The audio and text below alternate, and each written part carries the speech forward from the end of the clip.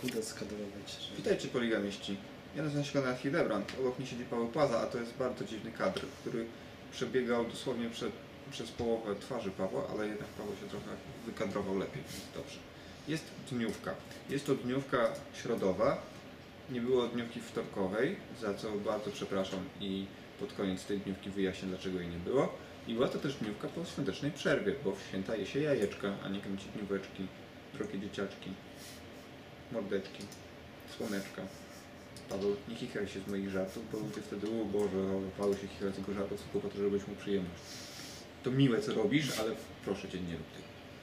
Więc, co się działo w zwariowanym świecie gier wideo? Przede wszystkim takich rzeczy niesamowite, niespodziewane. John Romero, czyli jeden z ojców takiego gatunku jak First Person Shooter, Wolfenstein, Quake. Już nie Quake 2 tak do końca. Nieudany Daikatana.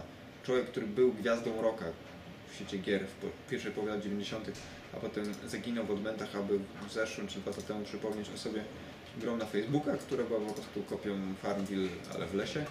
E, Teraz będzie jednak robił takie w sensie duże gry ze strzelaniem. Zobaczymy, co z tego wyniknie. To po pierwsze.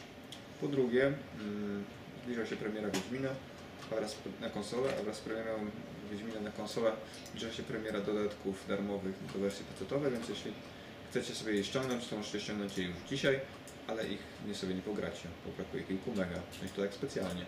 Że w dniu premiery sobie ściągniecie kilka mega i nie będziecie ściągać gigabajtów. Pamiętasz tę stronę z...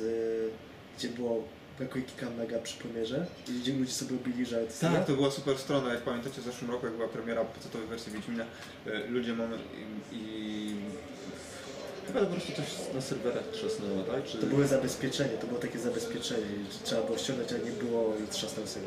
Tak, też tam generalnie miała być wielka uroczysta premiera o północy, i, a tymczasem była obsuwa i dramat. I, no tam ktoś uczy, ale chyba nie wejdą Paweł, więc...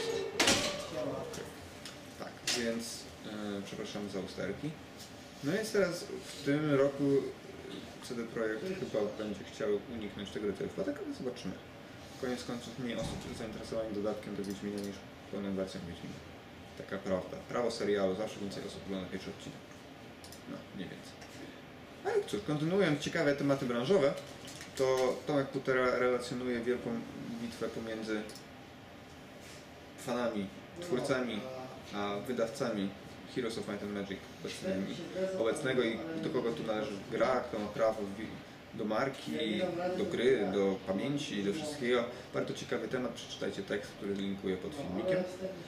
I cóż, kontynuując dalej, mm, pamiętajcie, że w tym tygodniu wychodzi FES, gra, na którą czekamy już wiele czasu. Ja z kolei e, przeczytałem bardzo ciekawy wywiad z Peterem Molino i polecam go Wam, żebyście przeczytali go w całości, a jeśli jesteście żołnierzami, to możecie przeczytać moje takie podsumowanie sześciu rzeczy, których tam wypisałem. Mamy też dla Was recenzję Dyna- Dynasty Warriors Next na PlayStation Vita.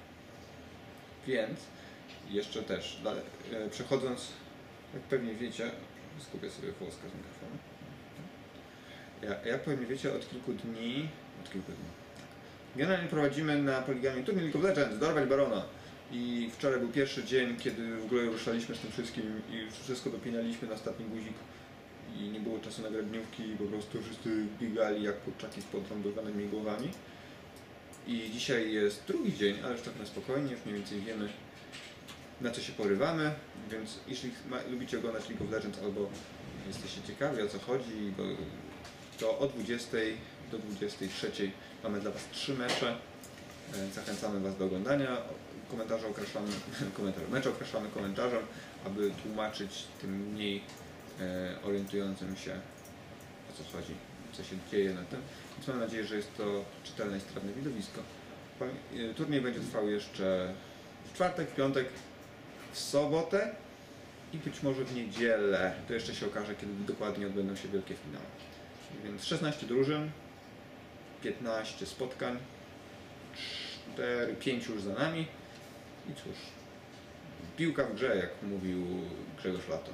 Znaczy chyba nadal mówi, bo on jeszcze ciągle żyje, ale wiecie, PZPN, PZPN, to jutro trzymajcie się, no, no, no, no, PZPN.